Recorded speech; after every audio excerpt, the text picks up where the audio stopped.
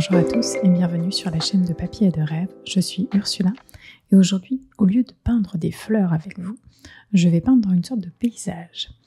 Euh, je vais peindre un peu ce que je vois au bord de la mer quand on va à la plage. Euh, je vous l'ai déjà dit dans une, vidéo précédente, il y a une, zone de nature protégée entre la ville et la plage, euh, ici à Mataro. Et il y a plein de plantes à cet endroit-là, forcément. Et en ce moment, toute la plante, toute la verdure, toute la nature est en train de sécher. Il commence à faire chaud.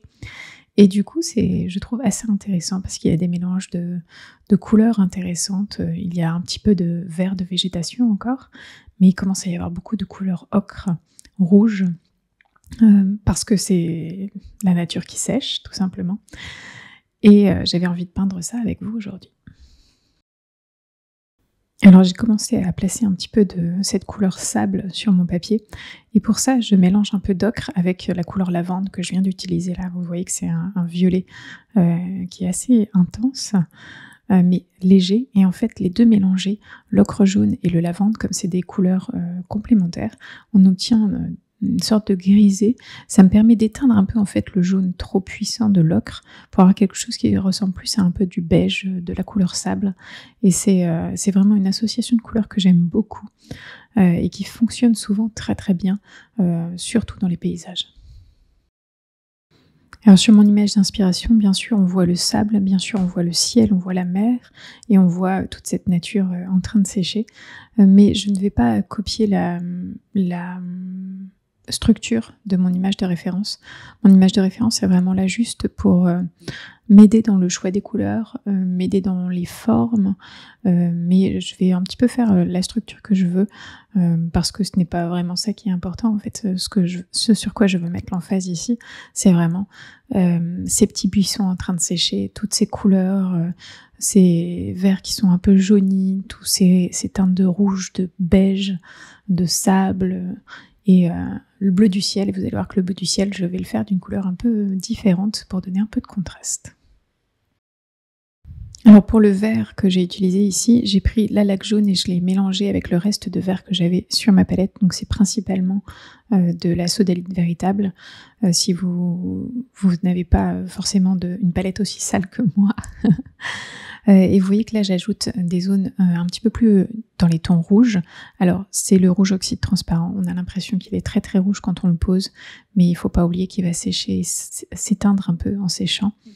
Euh, donc il faut pas en avoir peur et même si des fois quand on le met ça fait oh là là c'est beaucoup trop rouge non c'est une couleur beaucoup plus calme qui s'éteint un peu qui devient un peu plus terreuse et qui est vraiment très intéressante parce qu'en plus elle granule énormément tout comme l'ocre jaune que j'ai utilisé. Donc on va voir des choses qui vont se passer au niveau de la texture. Euh, j'ai parlé aussi de la sodalite véritable. Vous, allez voir que je vais l'utiliser euh, juste maintenant euh, pour le ciel. Oui, de la sodalite véritable pour le ciel, parce que ça donne un côté un petit peu, comment dire, ça donne une, une, petite impression de tristesse, j'ai envie de dire. Euh, c'est euh, un bleu un peu éteint, un bleu euh, un peu grisé aussi. et j'avais envie de ça dans le, dans le ciel parce que je veux que mes couleurs les plus intenses soient dans le bas de mon image, dans la végétation.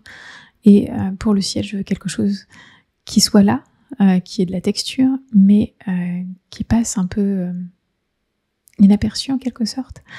Euh, ou en tout cas qui soit beaucoup plus calme, même si euh, cette sodalite a beaucoup de granulation et qu'elle va faire euh, une texture par elle-même, ça va être quand même une zone un peu reposante en fait au sein de mon image.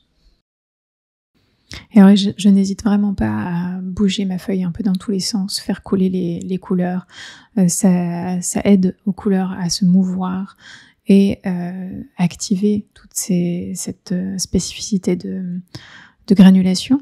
Et puis ça donne aussi une énergie en fait parce que euh, la façon dont les gouttes vont descendre, surtout quand elles ont un angle comme ça, euh, ça va m'aider à, obtenir un petit peu plus d'énergie dans mon image.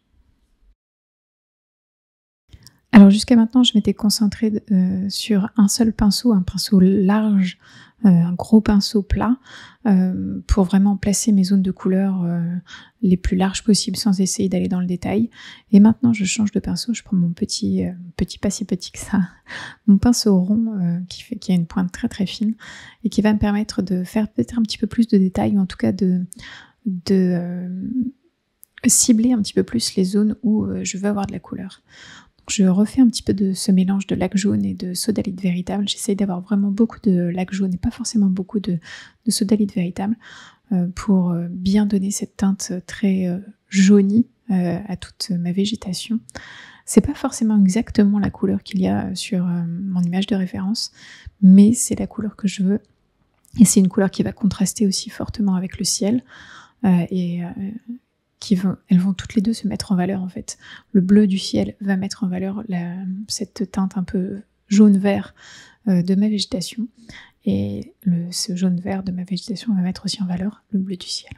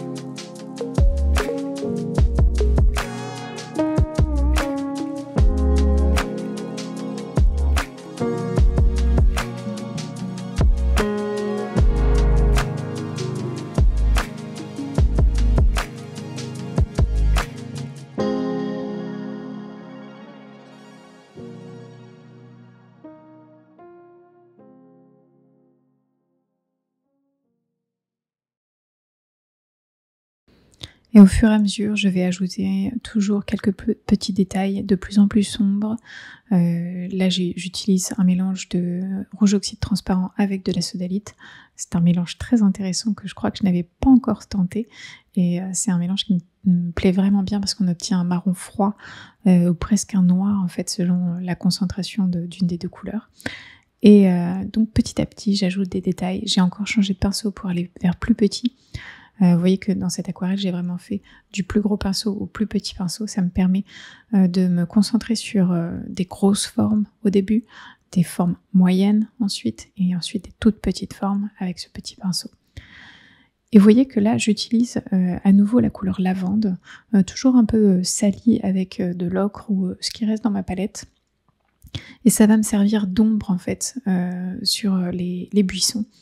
Euh, on est en plein soleil, euh, cette végétation est en plein soleil, il y a forcément une ombre.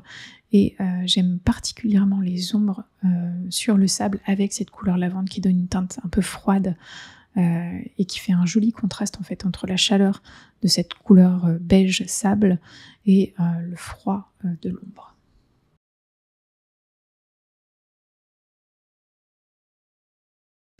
À ce stade de mon image, tous les éléments importants sont, présents. J'essaye d'ajouter un petit peu de texture dans toute cette zone de, sable qui est peut-être un petit peu vide.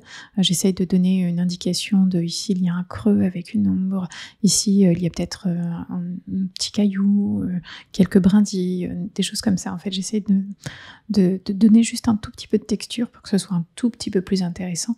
Mais sinon, l'essentiel de mon image est déjà placé sur mon papier. Et je pense qu'on peut dire que cette image a un, petit côté euh, mélancolique, je crois.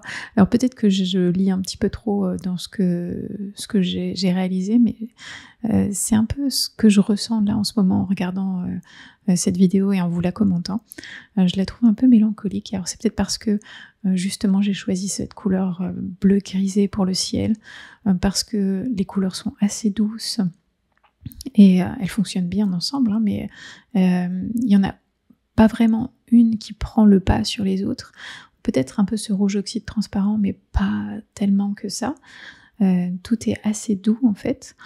Et, euh, et, je pense que ça représente un peu l'état d'esprit dans lequel j'étais quand je, quand je l'ai peint finalement. Parce que on arrive en été, parce que euh, il va m'être de plus en plus difficile à trouver des sujets de peinture ici à euh, en Espagne parce qu'il fait chaud, parce qu'il y a euh, moins de nature en fleurs, parce que euh, on va sortir peut-être un peu moins, ou en tout cas on va aller tout le temps au même endroit, à la plage, pour se rafraîchir. Et, du coup c'est un peu cette nostalgie de l'été qui me prend, je crois. le rythme de vie change, tout notre rythme de vie de l'année, en fait, se retrouve un peu perturbé en quelque sorte par la chaleur, par le changement de rythme, par euh, la lumière aussi euh, qui est différente. Euh, et, voilà. Alors vous voyez que je suis en train de rajouter du bleu outre-mer dans mon ciel parce que je voulais lui donner une teinte un tout petit peu plus bleue tout en gardant cette idée euh, de granulation. Alors j'avais hésité avec le bleu d'un entraîne, mais le bleu d'un entraîne est une couleur quand même très lisse. C'est pour ça que j'ai choisi euh, le bleu outre-mer. On a l'impression qu'il est euh, ultra puissant quand je le pose comme ça. Vous allez voir que je vais tirer la couleur je vais la calmer un petit peu et ça va donner juste une teinte un tout petit peu plus bleue à cette sodalite et ça, donne une autre dimension en fait à mon ciel et c'est un peu ce qui, était euh, et ça, ça le rend un petit peu plus intéressant en fait et peut-être un petit peu moins triste aussi. Et toute cette semaine, j'ai un peu pensé à mon inspiration et comment j'allais trouver des éléments à peindre au courant de l'été en fait parce que comme je vous l'ai dit il fait chaud, euh, il y a beaucoup moins de fleurs, euh, comment je vais faire? Et en fait, je, me suis mise à regarder un petit peu tout ce qu'il y avait autour de moi, et même si la nature n'est pas forcément en fleurs, il y a des tas de choses très intéressantes à voir. J'ai déjà plein d'images d'inspiration euh, que je vais sûrement peindre un peu au fil de l'eau. Euh, et vous allez voir que euh, je vais quand même rester là et vous proposer des vidéos. Euh, normalement, tout l'été, on verra. mais je pense que ce sera un petit peu plus des vidéos de ce style. peut-être des paysages, peut-être de la nature un peu plus désertique en fait. Pas forcément des fleurs. Mais je pense que ça va être intéressant et ça va me faire utiliser mes couleurs d'une manière différente aussi. Et euh, je suis sûre qu'on va apprendre plein de choses ensemble. En tout cas, je finis cette aquarelle avec euh, quelques petites touches encore de brindilles, euh, des touches un petit peu plus sombres à certains endroits, pour juste un peu habiller cette, zone de plage où il ne se passe pas grand-chose. C'est vraiment des tout petits détails. Et quand il y a des, des zones un, petit peu calmes comme ça dans, mes aquarelles, euh, j'ai toujours un peu du mal à m'arrêter à savoir quand est-ce que euh, c'est suffisant, euh, quand est-ce que ça n'est plus vide en fait. mais je crois que là, j'ai, je me suis arrêtée au bon moment. on a cette idée qu'il y a quelque chose, il y a du sable, il y a des petits rochers, des petites plantes, des petites brindilles, sans en faire trop. Alors je mets vraiment les dernières petites touches ici J'essaye de donner un petit peu de plus de texture au buisson en fait et d'avoir un petit peu cette sensation de feuillage euh, dans, mes petits buissons. Et voilà, j'ai fini euh, cette aquarelle et cette vidéo est à présent terminée. Merci de l'avoir regardée jusqu'au bout et j'espère qu'elle vous a plu. N'hésitez pas à aller jeter un coup d'œil sur le blog pour plus d'informations sur cette image. Et bien sûr, dites-moi ce que vous en pensez dans les commentaires. À bientôt.